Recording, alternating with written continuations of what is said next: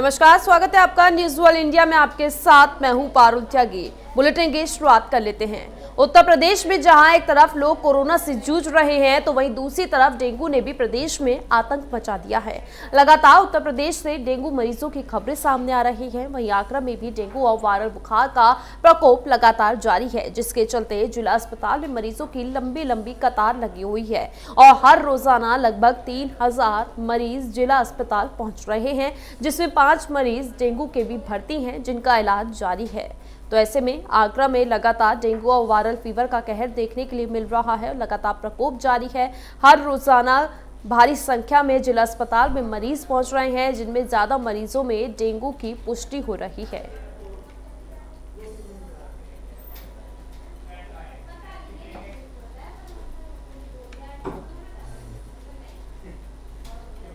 उत्तर प्रदेश में लगातार दबंगों का आतंक जारी है। दबंग लगातार खुलेआम दबंगई कर रहे हैं। ताज़ा मामला बहराइच के कोतवाली नगर इलाके का है, जहाँ पर दबंग युवक ने मेडिकल स्टोर मालिक पर हमला कर दिया।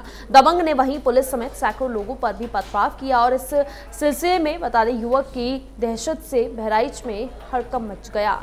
वहीं इसके साथ ही दबंग युवक के पथराव से दो दरोगा समेत कई पुलिसकर्मी भी घायल हुए। दबंग युवक के पथराव और फायरिंग के दौरान पुलिसकर्मी मौके से भाग निकले। वहीं घटना की सूचना पाकर सीओ सिटी भारी पुलिस बल के साथ पहुँचे और कड़ी मशक्कत के बाद युवक को गिरफ़्तार कर लिया गया।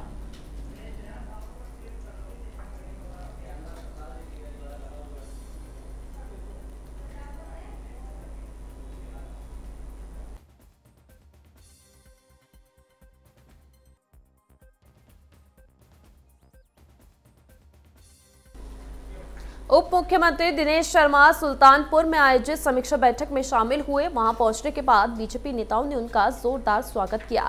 जानकारी के मुताबिक उप मुख्यमंत्री दिनेश शर्मा सीधा लोक निर्माण विभाग के निरीक्षण भवन पहुंचकर बैठक में शामिल होंगे और ऐसे में बैठक के तुरंत बाद वो लंबुआ विधायक देवमणि द्विवेदी के आवास सूर्यभान पट्टी गाँव जाएँगे और उनके पिता के निधन पर परिजन को संतावना, सांत्वना भी देंगे।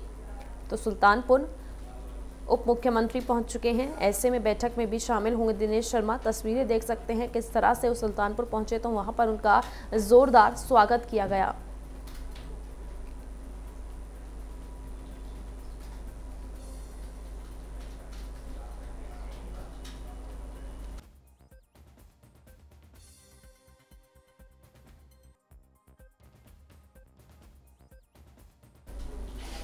पंजाब के मुख्यमंत्री चरणजीत सिंह चन्नी ने अपनी ही सुरक्षा को लेकर बड़ा बयान दिया है। दरअसल राज्य के अधिकारियों को उन्होंने आदेश दिया है कि उनकी सुरक्षा में कटौती की जाए। मुख्यमंत्री चन्नी ने कहा कि उनकी सुरक्षा के लिए इतने सारे लोगों का होना संसाधनों की बर्बादी को दिखाता है। पंजाब के नागरिकों के साथ रिश्ता जोड़ते हुए उन्होंने अपने आप को आम आदमी करार दिया। मुख्यमंत्री ने कहा कि मेरी जान को किसी भी तरह का की कोई भी खतरा नहीं है, क्योंकि मैं हर पंजाबी का भाई हूँ और एक आम आदमी हूँ। पंजाब के मुख्यमंत्री चन्नी ने कहा कि मैं आप सभी के बीच से ही हूँ। मुझे अपने भाइयों से बचाने के लिए एक हज़ार सुरक्षा कर्मियों की फौज की ज़रूरत नहीं है। मुख्यमंत्री ने ये बात उस वक्त कही जब वो कपूरथला के IK Gujral Punjab technical university में अपना संबोधन दे रहे थे। उनके इस बयान के बाद वहाँ मौजूद सभी लोग चकित रह गए और अपने संबोधन के दौरान मुख्यमंत्री चन्नी ने कहा कि जब उन्हें जानकारी मिली तो वो आश्चर्य में पड़ गए। उन्होंने बताया कि कार्यभार संभालने के बाद उनकी सुरक्षा के लिए एक हज़ार सुरक्षा कर्मी तैनात थे। उस दौरान उन्होंने कहा कि ये सरकारी संसाधनों की सरासर बर्बादी है। मैं ऐसा नहीं होने दूँगा, क्योंकि मेरे अपने पंजाबियों से मेरा क्या नुकसान होगा? मैं भी उनकी तरह एक आम आदमी हूँ।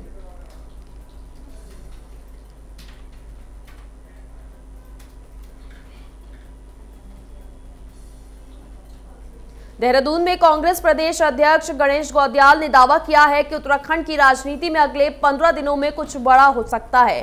दरअसल, गौदियाल ने कहा कि बीजेपी के कई बड़े नेता कांग्रेस के संपर्क में हैं, लेकिन ये ज़रूरी नहीं है कि हम सबको कांग्रेस में शामिल करें। हम अपने पार्टी के नेताओं का हित देखकर ही आगे की रणनीति तय करेंगे, क्योंकि हमारे पार्टी के नेता पाँच साल से बीजेपी के खिलाफ काम कर रहे हैं और स्थानीय जनता के सुख दुख में शामिल हो रहे हैं। ऐसे में उनका हित प्रभावित न हो इस बात का विशेष ध्यान रखा जाएगा। वहीं बता दें, गणेश गौदियाल ने कहा कि अगले पंद्रह दिन में कुछ बड़ा हो सकता है। उनके इस बयान से साफ़ हो गया है कि कांग्रेस अपनी रणनीति के तहत बीजेपी को कई नेताओं को पार्टी में शामिल करने की तैयारी में है।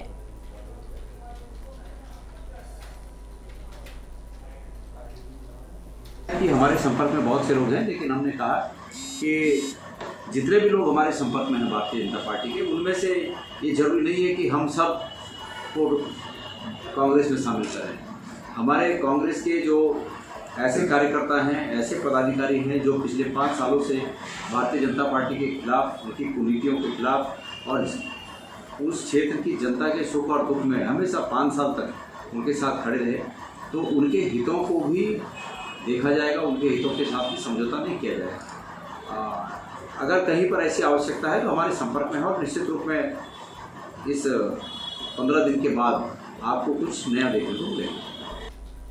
हाथरस में करीब एक साल पहले हुए बलात्कार और हत्याकांड ने फिर सुर्खियों में जगह बना ली है। सपा प्रमुख और पूर्व मुख्यमंत्री अखिलेश यादव की बयानबाजी के बाद अब भीम आर्मी के प्रमुख चंद्रशेखर हाथरस में पीड़ित परिवार के घर पहुँच गए हैं। यहाँ पर उन्होंने परिवार से मुलाकात के बाद उन्होंने पीड़ित परिवार के साथ रात गुजारने की बात कही और कहा कि देखेंगे कि कैसे परिवार संगीनों के डर के साइड में रहता है।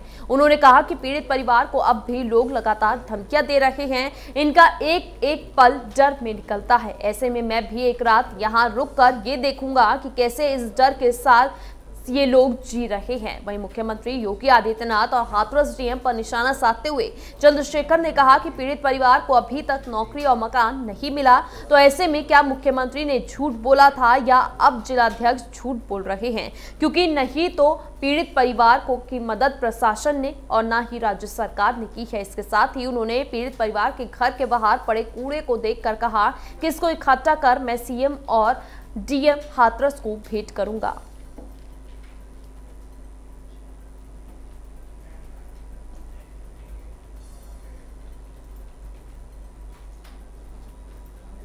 भारत में कोरोना एक्टिव केस घटकर करीब तीन लाख हो चुके हैं। ऐसे में स्वास्थ्य मंत्रालय की ओर से शुक्रवार सुबह जारी किए गए आंकड़ों के अनुसार पिछले 24 घंटे में इकतीस नए कोरोना केस सामने आ चुके हैं, जबकि 318 कोरोना संक्रमितों की जाँच चली गई है। वहीं बीते 24 घंटे में बत्तीस लोग कोरोना से ठीक हो चुके हैं, यानी कि एक हज़ार चार सौ से ज़्यादा एक्टिव केस कम हो गए हैं। ऐसे में देश में सबसे ज़्यादा कोरोना मामले केरल से सामने आ रहे हैं। बता दें, केरल में कल कोविड 19 के उन्नीस नए मामले सामने आने के साथ ही कोरोना वायरस से संक्रमित लोगों की कुल संख्या बढ़कर 45 लाख से ज़्यादा हो चुकी है। ऐसे में राज्य में एक सौ बावन मरीजों की मौत के बाद मृतकों की तादाद चौबीस हो चुकी है और राज्य में कोविड के उपाय उपचारधीन मरीजों की संख्या एक लाख साठ हज़ार छियालीस है। वहीं बता दें, कोरोना महामारी की शुरुआत से लेकर अब तक कुल तीन करोड़ पैंतीस लाख पंचानवे हज़ार लोग संक्रमित हुए हैं और इसमें से चार लाख छियालीस हज़ार तीन सौ सड़सठ लोगों की जान जा चुकी है। लेकिन अच्छी बात यह है कि अब तक तीन करोड़ अट्ठाईस लाख अड़तालीस हज़ार लोग ठीक भी हुए हैं और देश में कोरोना एक्टिव केस की संख्या करीब तीन लाख है। कुल तीन लाख एक सौ बासठ लोग अभी भी कोरोना वायरस से संक्रमित है। जिनका इलाज चल रहा है।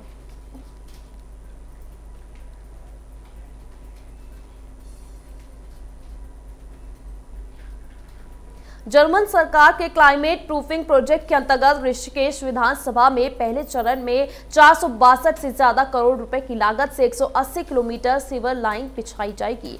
साथ ही इसमें पंपिंग स्टेशन और एसटीपी प्लांट निर्माण का काम भी होगा।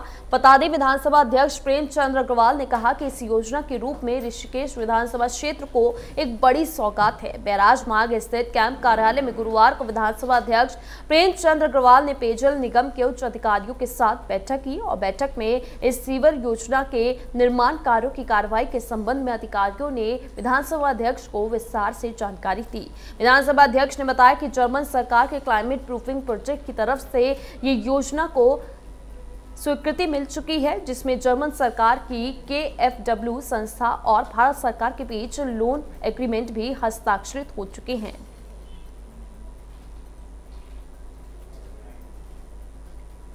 जो शहर और कुछ ग्रामीण क्षेत्रों को मिला के सीवरेज योजना बहुत पहले से प्रस्तावित थी और अनेकों बार इसके बारे में मैं अधिकारियों से बातचीत भी कर चुका हूँ।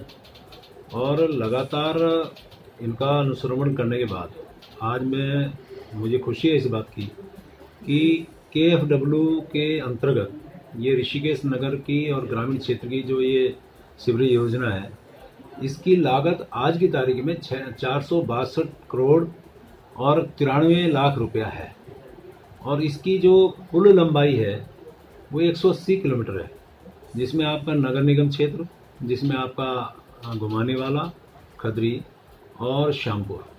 इन ग्रामीण क्षेत्रों को भी इसमें जोड़ा जाना है। और मुझे खुशी इस बात की है कि तेईस आने वाले सालों के लिए इसका, जो है डिज़ाइनिंग की गई है। आज की तारीख में इसमें एक लाख पैंतीस हज़ार नौ सौ तैंतीस की जनसंख्या को कवर कर रही है। और आने वाले टाइम पे जब ये तीस वर्षों बाद एक अनुमानित जो हमारा जनसंख्या उस समय दो लाख बीस हज़ार और तीन सौ उनहत्तर होगी। और इसमें खदरी में एक एसटीपी प्लांट लगेगा और सीवरेज पंपिंग स्टेशन एक आस्था पथ पर एक आवास विकास में बनना है। चमोली में पीपल कोठी के हाट गाँव में सीएसडीसी और प्रशासन की टीम ने पुलिस बल के साथ परिसरों प्रभावितों के भवनों की ध्वस्तीकरण की कार्रवाई शुरू की, जिसके बाद विरोध कर रहे हैं और ऐसे में जनप्रतिनिधियों को पुलिस की तरफ़ से कस्टडी में लिया गया। बता दें, इस दौरान लोग परियोजना प्रभावित अपने घरों को टूटते देख, रोते बिलकते रहे, लेकिन प्रशासन की तरफ़ से कार्रवाई रोकी नहीं गई। हालाँकि कंपनी प्रबंधन की तरफ़ से किसी तरह का बयान इस मामले में अभी तक सामने नहीं आया है। वहीं ग्राम प्रधान हाट राजेंद्र भट्ट वालों का कहना है कि ग्रामीण कंपनी के निर्माण कार्यों में हमेशा सहयोग देती रही है और विकास के साथ खड़ी रहती रही है। ऐसे में गाँव के 90 फ़ीसदी परिवारों ने विस्थापन कर लिया है।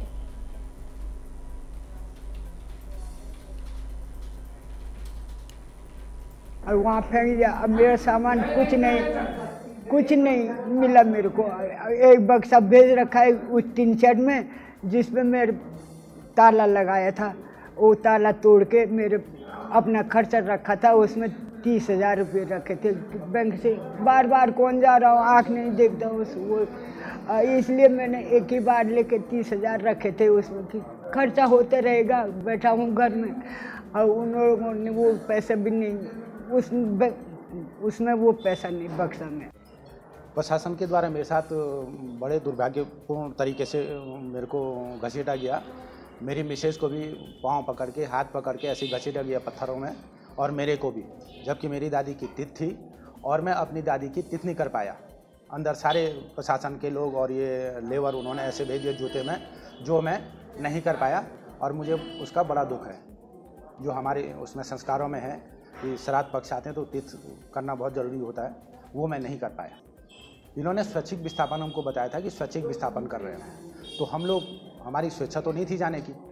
और फिर इन्होंने जो टाइम दिया था कि तीन अक्टूबर तक हम समिति कमेटी बनाएँगे, उसमें जो भी निर्णय लिए जाएँगे, उसके बाद जो भी वार्ता होगी, उसके बाद हम जाते या रुकते, जो भी ये बात करते, लेकिन उससे पहले ही हमको इस तरह की इस घटना से गुजरना पड़ा। शासन, प्रशासन आए हमारे मकानों को ध्वस्त कर दिया गया। हमको बाँध के चमोली उसमें थाने में ले ले गए।